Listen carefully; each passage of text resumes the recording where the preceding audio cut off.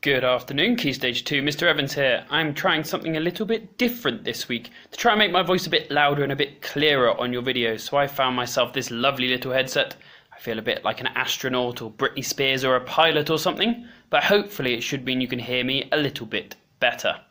Before we start our assembly day, I wanted to do something a little bit different. Lots of you may have seen on the news this week if you've been on, watching the news or reading the newspapers or magazines or looking on the internet or even following your favourite celebrities on their social media, you may have seen there have been lots of protests all around the world this week in lots of different countries in every corner of the globe. Here at Isamilo International School, we are incredibly proud of our diverse community and you know that we talk a lot about how it's so important that we are treating everybody fairly, no matter the colour of our skin, the type of hair we have, the God that we choose to pray to. We want to treat everyone fairly and we want to treat everyone equally. However, one thing we should do as part of that is we need to make sure also the stories that we're reading, the movies that we're watching, the music that we're listening to is also from all around the world. So, what I thought today was I'd like to start assembly by sharing you one of my favourite stories. And it's a story, but it's also a poem, and it's called Ada Twist Scientist. So I'm going to cut over to Epic. It's on Epic, so you can read it afterwards as well. And I'm going to share my story with you. So here is our story called Ada Twist Scientist, written by Andrea Beaty. Ada Marie, Ada Marie, said not a word till the day she turned three. She bounced in her crib and looked all around, observing the world, but not making a sound. She learned how to climb and made her big break, with a trail of chaos left in her wake. She ran through the day, chasing each sound and sight, and didn't slow down till she conked out at night. Her parents were frazzled, but tried not to freak, as Ada grew bigger and still did not speak. Clearly, young Ada, with lots in her head, would have something to say when it ought to be said. That's just what happened when Ada turned three. She tore through the house on a fact finding spree and climbed up the clock as high as she could. Her parents yelled, Stop! as all good parents would. Ada's chin quivered, but she did not cry. She took a deep breath and simply asked, Why? Why does it tick and why does it tock? Why don't we call it a granddaughter clock? Why are there pointy things stuck to a rose? Why are there hairs up inside of your nose? She started with why, and then what, how, and when. By bedtime she came back to why once again. She drifted to sleep as her dazed parents smiled at the curious thoughts of the curious child who wanted to know what the world was about. They kissed her and whispered, You'll figure it out. Her parents kept up with their high flying kid, whose questions and chaos both grew as she did. Even Miss Greer found her hands were quite full when young Ada's chaos wreaked havoc at school. But this much was clear about Miss Ada Twist. She had all the traits of a great scientist. Ada was busy that first day of spring, testing the sounds that mockingbirds sing, when a horrible stench whacked her right in the nose, a pungent aroma that curled up her toes. Zowie! said Ada, which got her to, got her to thinking, what is the source of that terrible stinking? How does a nose know there's something to smell? And does it still stink if there's no nose to tell? She rattled off questions and tapped on her chin. She, she'd start at the start, where she ought to begin. A mystery, a riddle, a puzzle, a quest. This was the moment that Ada loved best. Ada did research to learn all she could of smelling and smells both the stinky and good. One hypothesis Ada thought could be true. The terrible stink came from Dad's cabbage stew. She tested and tested, but soon Ada knew it was time to come up with hypothesis two. Then zowie! That stink struck again, just like that. Hypothesis two? It's caused by the cat. The cat couldn't make such a stink on its own. It needed perfume and some fancy cologne. So young Ada tested. The test was a flop. She started again, but her parents yelled, Stop! Ada Marie! Ada Marie! To the thinking chair now, by the time we count three. Enough, shouted her mother. That's it, said her dad. Her parents frustrated, frazzled and mad. Why? Ada questioned. Her mother said no. What? Ada queried. Her father said go. You've ruined our supper. You've made the cat stink. Enough with your questions. Now sit there and think. She looked at her parents. Her heart turned to goo. Poor Ada Twist didn't know what to do. She sat all alone by herself in the hall, and Ada once more could say nothing at all. And so, and so Ada sat, and she sat, and she sat, and she thought about science and stew and the cat, and how her experiments had made such a mess. Does it have to be so? Is that part of success? Our mess is a problem, and while she was thinking, what was the source of that terrible stinking? Ada Marie did what scientists asked a small question, and then she asked two. And each of those led her to three questions more, and some of those questions resulted in four. As Ada got thinking, she really dug in. She scribbled her questions and tapped on her chin. She started at why, and then what, how, and when. At the end of the hall, she'd reach why once again. Her parents calmed down and they came back to talk. They looked at the hallway and just had to gawk. No patch of bare paint could be seen on the wall. The thinking chair now was the great thinking hall. They watched their young daughter and sighed as they did. What would they do with this curious kid who wanted to know what the world was about? They smiled and whispered, We'll figure it out. And that's what they did, because that's what you do when your kid has a passion and heart that is true. They remade their world.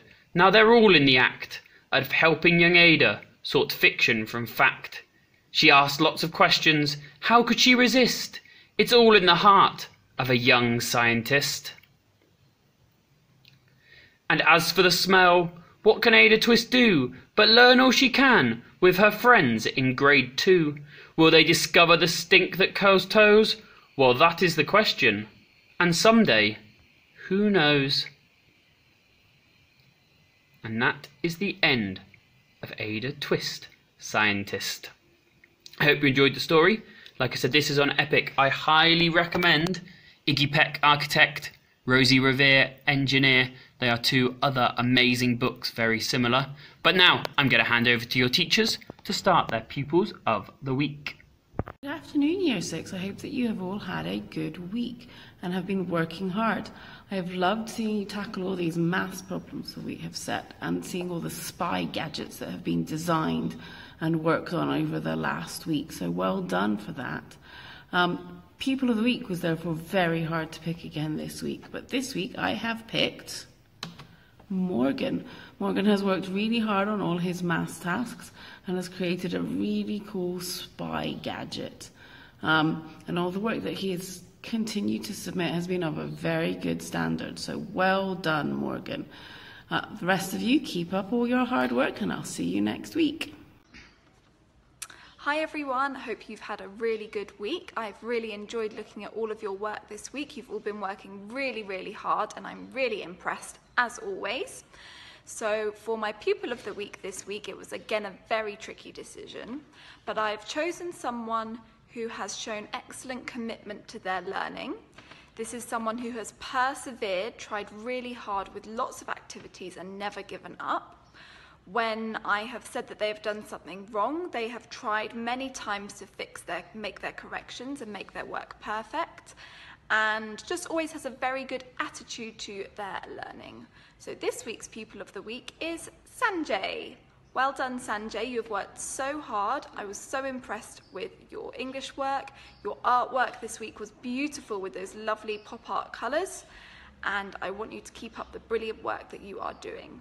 Well done, Sanjay, and well done to everyone else. I hope you have a great weekend. Bye. Hello, everyone. Good afternoon for Jay. Once again, I'm very happy to say that I'm pleased with the work you are all doing. You've done a wonderful job this week, and I'm receiving a lot of submissions uh, from you. That is very commendable.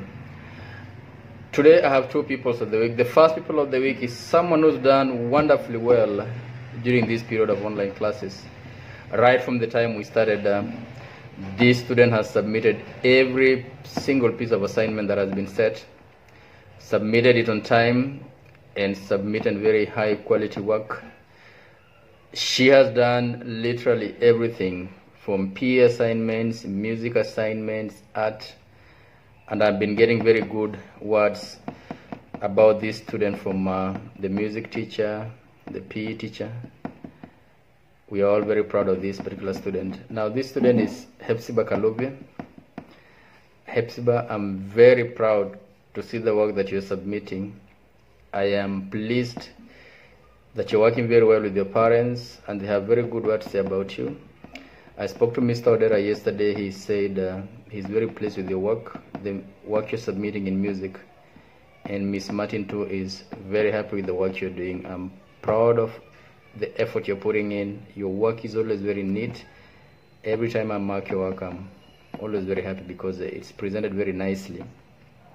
I'm happy with what you're doing. I'm also happy that you take advice very positively. You follow instructions. You do everything I ask you to do, and where you're not sure, you ask for clarification. This is very commendable. So, Hepzibah Kalubia, congratulations on being our people of the week this week. Well done. Keep up the good work. My second people of the week is a boy who's worked very well, worked very hard. Sometimes I think he works a lot better now that he's at home than when he was at school. Uh, I'm seeing very good quality work being submitted. The writing is very good, the handwriting is very neat. Work submitted has very few errors. The work is always cross checked. And he takes his time to do his work.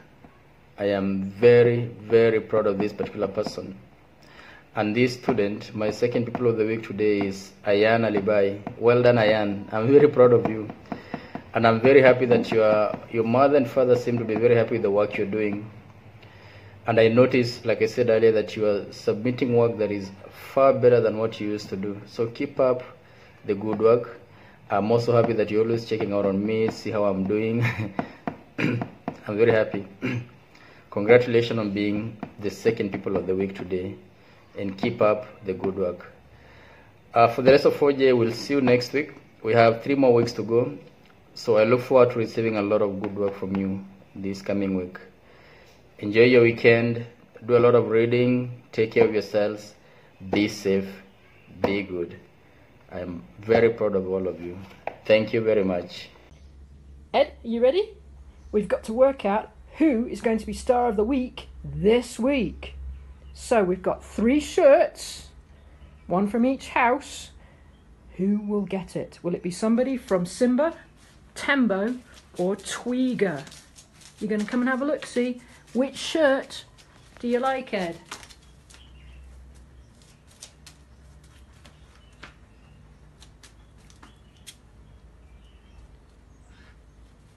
That one. Should we see who it is? Okay, mind your head. All right, well done, Rishan. Edward has chosen you to be star of the week. Why? It's probably because you've been working your little socks off. We've had a rusty start, haven't we? Well done, you've done a great job these last few weeks. Well done. Star of the week is Rishan from 4E. Well done to everyone who has been mentioned so far this assembly. Before we continue with your teachers telling you their pupils of the week, you may cast your mind back to last Friday when at the end of assembly you were set a very special challenge by Miss Reynolds and then your challenge was to show us your best funny walks. The good news is I have really enjoyed looking at all of these. The bad news is I had over 30 different children submit their walks, and if I put them all in assembly, we'd be watching until the sun went down. So I've had to pick out a few, but I have watched them all and have really enjoyed them. So if you sent your walk in, thank you very much. So over to you, Key Stage 2, with some of your best silly walks.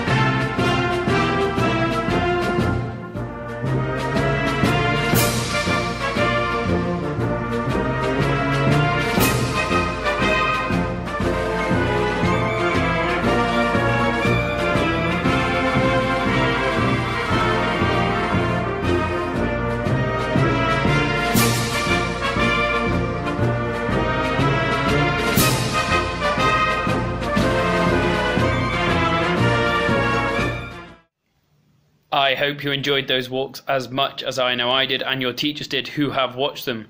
So, we're now going to throw back to your teachers who are going to go through some more pupils of the week. Listen very carefully. Your challenge for this week is coming from one of your teachers. So, watch each video carefully. One of them will set you this week's challenge. Over to you, teachers. Hello everyone, happy Friday and a special hello to 3A. Thank you so much to all of you who have been working so hard this week and submitting lots of brilliant work because again it made it very tricky for me to decide on my star of the week. But I have chosen someone this week who has been working hard actually for lots of weeks on Edmodo, but I was particularly impressed this week with this person's artwork. So in art this week we were looking at pop art as our new style of art and I just really like the colours that this person used and um, how they followed the brief um, and they ended up with a really lovely piece of artwork.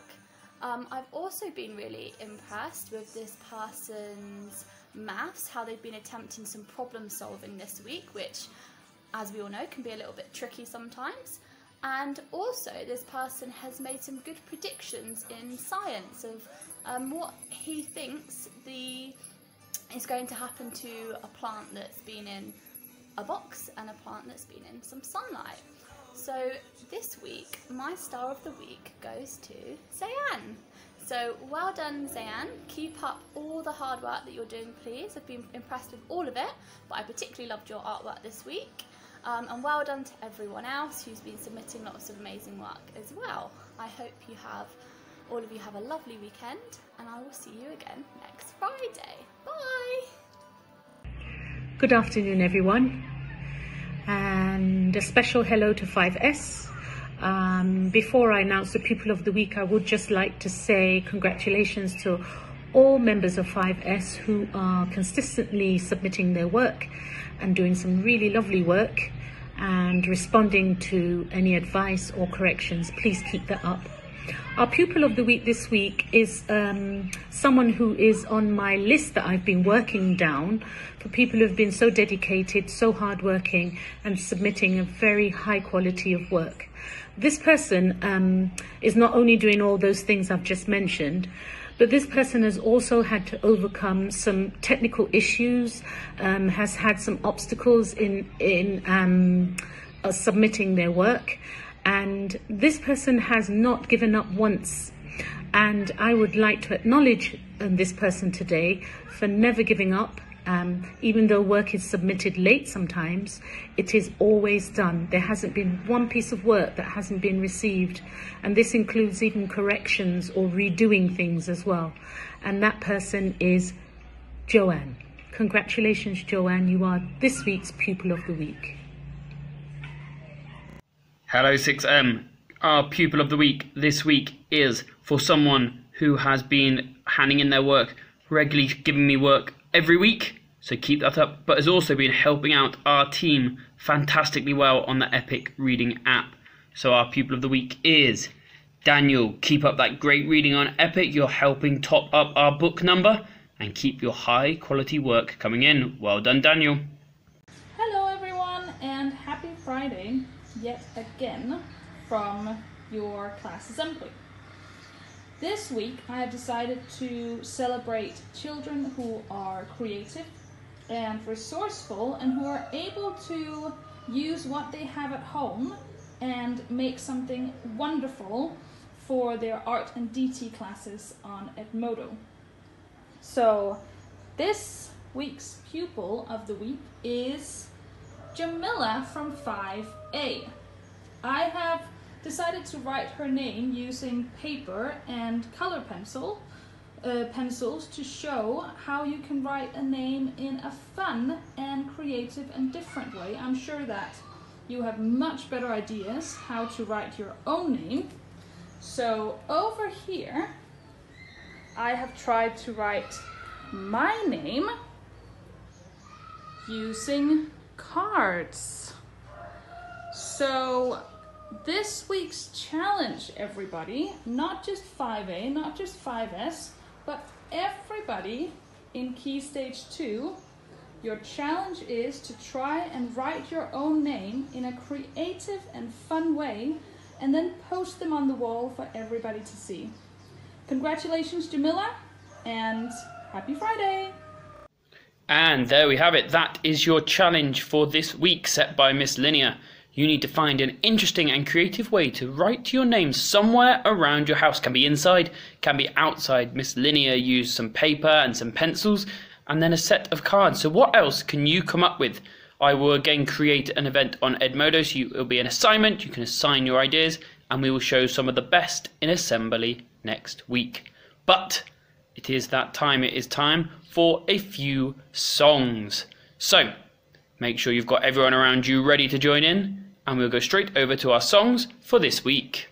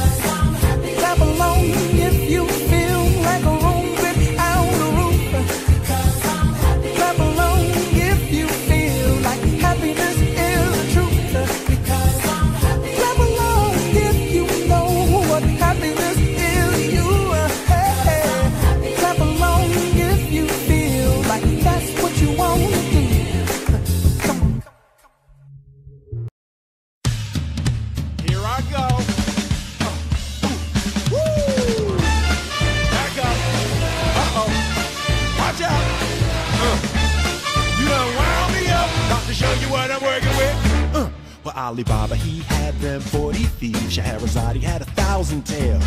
But master, you're in luck because up your sleeves you got a brand of magic never fails. You got some power in your corner now, heavy ammunition in your camp. You got some punch, pizzazz, and how all you gotta do is rub that lamp, and then I'll say, Mister Man, what's your name? Whatever, what will your pleasure be? Let me take your order, I'll jot it down. You ain't never had a friend like me.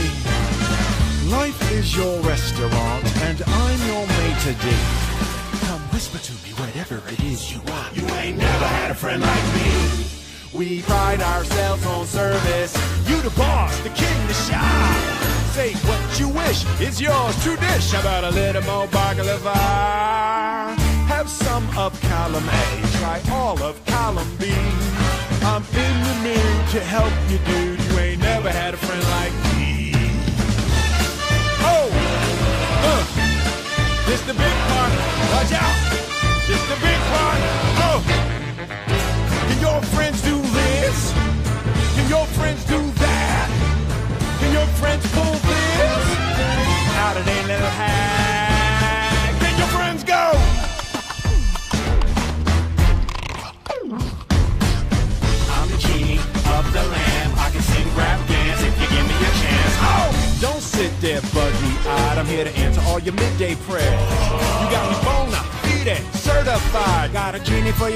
I got a powerful urge to help you out. So what you wish? I really wanna know. You got a list that's three miles long, no doubt. All you gotta do is rub like so. Mr. Aladdin, yes, one wish or two or three. Well, I'm on the job, you big nabob. You ain't never had a friend, never had a friend. You ain't never had a friend, never had a friend. You ain't never, never had a,